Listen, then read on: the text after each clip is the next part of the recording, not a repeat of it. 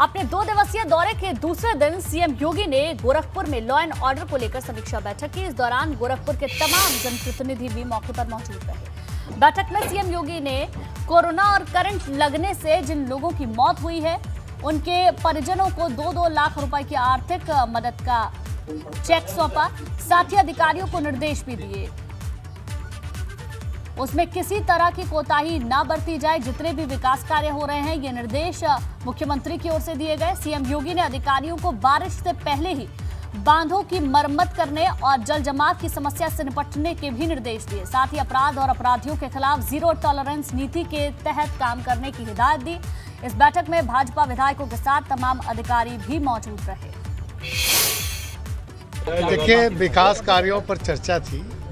मंडल के जो भी हमारे जनपद हैं उन पर चर्चा हुई जो पिछले गवर्नमेंट में कार्य हुए उस पर चर्चा हुई। आगे जो कार्य होने हैं जो कार्य अभी लंबित हैं या जो कार्य अभी बाकी हैं उन्हीं विकास कार्यों पर चर्चा हुई और बहुत अच्छी चर्चा माननीय मुख्यमंत्री जी ने गाँव के गरीब जनता से लेकर के और विकास से जुड़े हुए सड़कों से जुड़े हुए बिजली से जुड़े हुए गेहूँ के क्रय केंद्रों से जुड़े लेकर के पशु आश्रय से लेकर के सभी बिंदुओं पर जिलाधिकारी, सभी चारों जिलाधिकारी से उन्होंने एक एक फीडबैक लिया। लॉ एंड ऑर्डर को लेकर के गुंडे माफियाओं पे जो एक्शन हो रहे हैं, और कड़ाई से एक्शन किए जाए। विकास कार्य हो रहे हैं, उस पर समीक्षा कौन लेट हो रहा है, इसमें क्या कमी है, क्या अधिक है सब पर समीक्षा किए हैं, और सभी अधिकारियों पर हर विकास कार्यों पर चर्चा की है, पूरे मंडल के और ज़िले में जितने कार्य हो रहे हैं।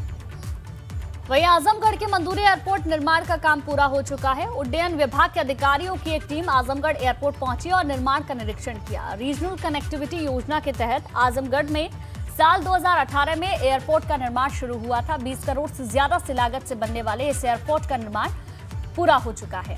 शुरुआत में आजमगढ़ से लखनऊ की ही उड़ान शुरू होगी। अन्य जगहों के लिए ऑपरेटर से बात चल रही है, जिसके बाद अन्य जगहों के लिए यहाँ से उड़ान शुरू हो सकेगी।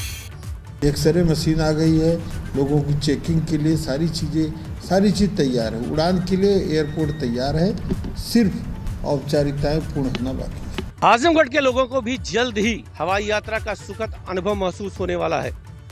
कनेक्टिविटी स्कीम के तहत आजमगढ़ हवाई अड्डे की स्थापना की गई है। इसके तहत आप देख सकते हैं कि आजमगढ़ हवाई अड्डा बनकर लगभग पूरी तरह तैयार है। आगमन से लेकर के निकास द्वार तक बनाए जा चुके हैं। और सामने आप देख सकते हैं कि यहाँ सारे उपकरण लगा दिए गए हैं। फायर सर्विस की गाड़ियाँ भी यहाँ मौजूद हैं। ये सोचिए, ये आजमगढ़ के लिए कितना सुखद अनुभव महसूस कराएगा। आजमगढ़ वासियों को जब वो यहाँ से जहाज़ के ज़रिए लखनऊ, दिल्ली, मुंबई की यात्रा करेंगे। और कल एक टीम ने आजमगढ़ आकर के इसकी आखिरी तैयारियों का भी जायजा लिया। और इससे ये उम्मीद लगाई जा रही है कि जल्द ही यहाँ से उड़ानें शुरू होंगी। कैमरामैन गौरव श्रीवास्तव के साथ पूरम आलम नुमानी एबीपी गंगा, आज़म। और चलिए अब बात गर्मी की। भीषण गर्मी और बढ़ते तापमान ने जहाँ एक तरफ़ लोगों की मुश्किलें बढ़ा रखी हैं तो दूसरी तरफ़ गर्मी के मौसम में आग लगने की घटनाएँ भी तेज़ी से बढ़ रही हैं। आज भी प्रदेश के कई हिस्सों में आग लगने की घटनाएँ सामने आई। अब देखिए, चार तस्वीरें आपकी टेलीविज़न स्क्रीन पर हैं। बिजनौर, लखीमपुर, श्रावस्ती और भदोही की ये तस्वीरें। जहाँ बिजनौर और श्रावस्ती में आग लगने से खेतों में खड़ी कई बीघा गेहूँ की फ़सल जलकर राख हो गई, जबकि लखीमपुर में आठ घरों में आग लग गई। वहीं भदोही में रूई के गोदाम में आग लगी है। तस्वीरें अलग अलग जगह की हैं, लेकिन नज़ारा लगभग एक जैसा ही इन तस्वीरों में नज़र आ रहा है।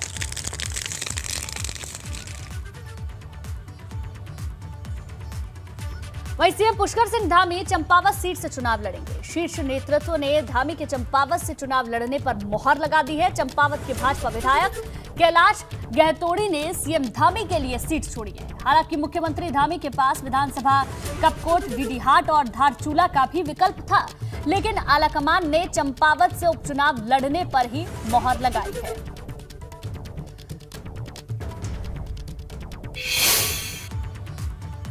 कांग्रेस के नवनियुक्त प्रदेश अध्यक्ष करण माहरा ने प्रदेश अध्यक्ष के तौर पर पदभार संभाल लिया। देहरादून में कांग्रेस मुख्यालय पर कार्यक्रम के दौरान माहरा को प्रदेश अध्यक्ष की ज़िम्मेदारी सौंप दी गई। इस दौरान कांग्रेस कार्यकर्ताओं ने माहरा का स्वागत किया। समय में आ गया है तीन से चार महीने, क्योंकि मैं पहले पूरे उत्तराखंड का दौरा करूँगा। कुमाऊं और गढ़वाल क्षेत्र को पूरा घूमूँगा।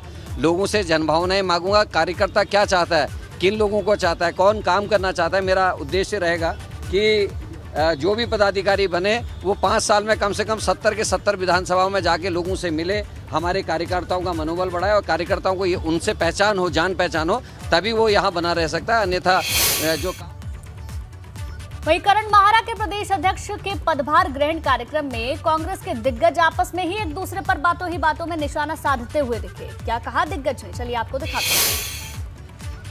जुझारू साथी है, चाहे वो ऑल इंडिया कांग्रेस कमेटी के लेवल पे हो, चाहे प्रदेश में हो, और चाहे विपक्ष की भूमिका निभाते हुए लेजिस्लेटिव जो हमारी वर्किंग है, उसके अंदर भी बहुत सारे ऐसे स्थान हैं जहाँ पर इनकी उपयोगिता निश्चित ही कांग्रेस पार्टी उनकी लेगी और गढ़वाल को एक मज़बूत जो स्थान, चाहे संगठन में हो, चाहे ऑपोजिशन की भूमिका निभाने में हो उसमें उनका स्थान निश्चित ही हम देने का काम करेंगे। छह महीने सबको साथ लेकर चलने की कोशिश की। उसमें तमाम ताने सुने, तमाम बातें सुनी, लेकिन मैंने उन बातों को साइड करते हुए पार्टी के हित में जो हो सकता था वो किया। और मैं समझता हूँ कि कहीं ना कहीं आपकी ये कमी रही कि आपने मेरी उस तपस्या को वहाँ तक नहीं पहुँचाया, नहीं तो हाईकमान ये नहीं समझ सकता था कि गणेश गोदियाल एक पक्ष के गोद में जाकर बैठ गया। ये कभी नहीं हुआ। गणेश बोधियाल किसी पक्ष के। गणेश बोधियाल ने इस भवन में कांग्रेस अध्यक्ष की गरिमा को बनाए रखने के लिए जो कुछ हो सकता था, वो कुछ किया। उसका ध्यान रखेंगे। उसको पूरा करवाएँगे और बहुत जल्दी करेंगे और बहुत तरीके से करेंगे, बल्कि बहुत सारे इम्पोर्टेंट चीज़ें हैं जो आगे आने वाले दिनों में आप देखेंगे। और इसमें जो कार्यकर्ता जहाँ समाने लायक है, जो नेता, उस नेता को वहाँ रखा जाएगा। और कोशिश की जाएगी कि उनमें वो लोग गढ़वाल से जाना